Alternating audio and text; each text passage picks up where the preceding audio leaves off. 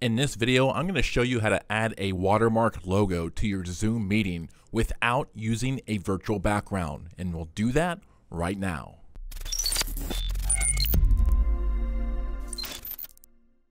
Hey, what's going on everyone? I'm Brian White and welcome back to Video Zeus. I'm on a mission to help you create videos that get results. Now, my clients find these tips and videos helpful, so if you want the same experience, the same result, please consider clicking that subscribe button now.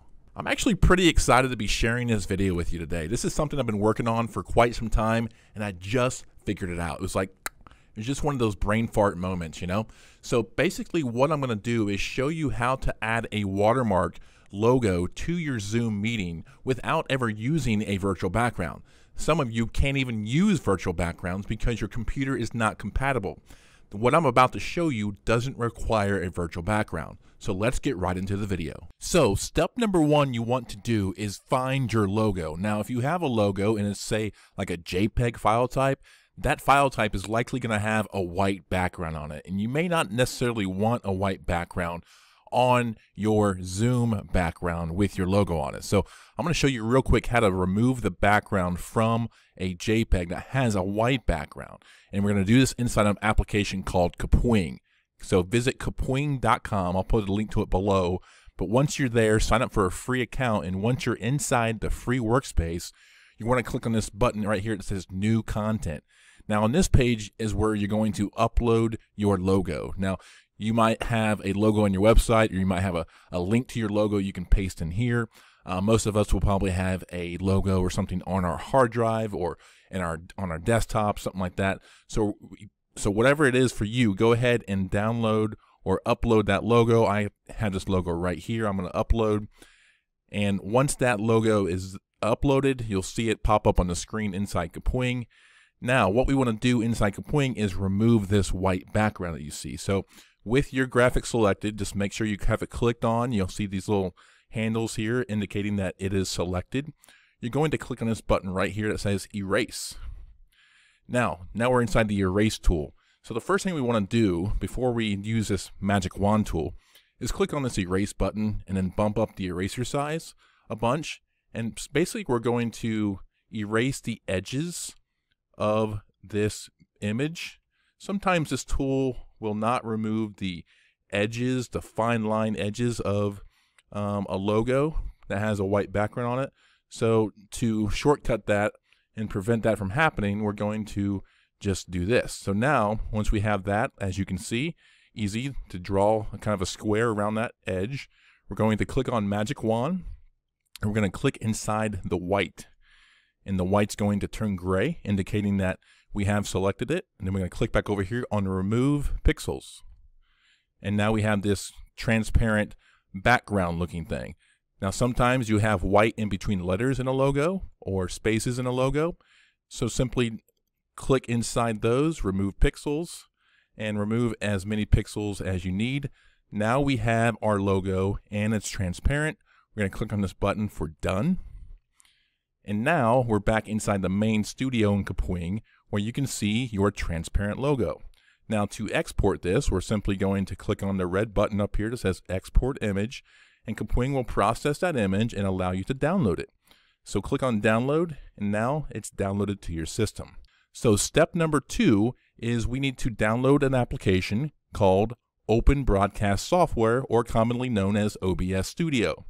OBS Studio is a free download, it's a safe download, and you can download it for Windows, Mac, or Linux. So go ahead and download OBS Studio, and when you open it for the first time, you will click on some items to auto configure your settings. But once that's ready to go, it will look something like this. This will be your preview monitor. There's some buttons over here. And then over here is where the main action takes place. Now, this may look kind of um, daunting, but we're only going to be using OBS for a very small piece. So let me simplify it for you. OBS is broken down into scenes and sources. Scenes over here, sources right here. By default, OBS will have a scene created for us. So now we basically just need to add a source. And our source for this example is going to be our webcam video and our transparent logo. So to do this, let's click on this plus icon and we're going to add our video first into something called video capture device. Click on that and we can keep the name as is. Click OK. And then here, you're going to simply click on this, drop it down and look for your webcam. Now, the webcam I'll be using today is my FaceTime HD webcam, which is a built-in webcam on my iMac. You'll see your preview monitor here. Go ahead and click OK. And now we have our video feed on our preview window. Now, this camera I'm using today is a 720, and this canvas is a 1080. So it's going to be smaller, so we can just drag it here, and it'll click, kind of snaps in there to make it full screen. Your camera may be a 1080, and that's fine. You can skip that step.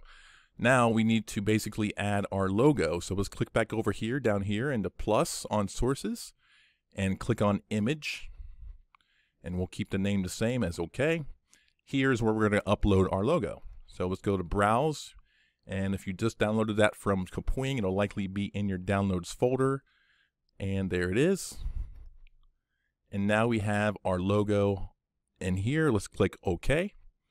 And our logo is now on screen.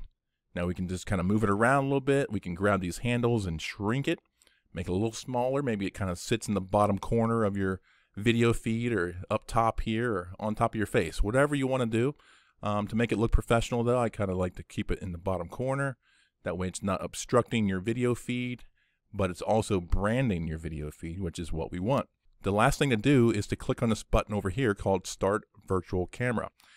And basically what the virtual camera does is it takes the video feed, it takes the logo and merges the items into one single source that can be recognizable on Zoom, Google Meet, any really video conferencing platform out there. And it'll be recognized as its own camera. Okay. So now we have our virtual camera started inside OBS. The next step to do is to launch Zoom. So let's go ahead and launch Zoom. Okay, so now we're going to jump into a new meeting. Click on new meeting. And then once Zoom is launched, we want to click down here next to the uh, camera icon, this little caret menu. Click that. And then from select a camera, we're simply going to select OBS virtual camera. And now, when you do that, you will see your logo inside Zoom on your Zoom video feed. So the benefit of this is that you don't have to have the compatibility to use a virtual background. You're actually not even using the virtual background. You're just selecting the virtual camera by way of OBS. Now that you've been able to add a logo watermark to your Zoom meeting, you're definitely going to want to explore adding a video background without using Zoom's video background requirements. Definitely check out that video and more. Once again, thanks for watching Video Zeus, helping you create videos that get results.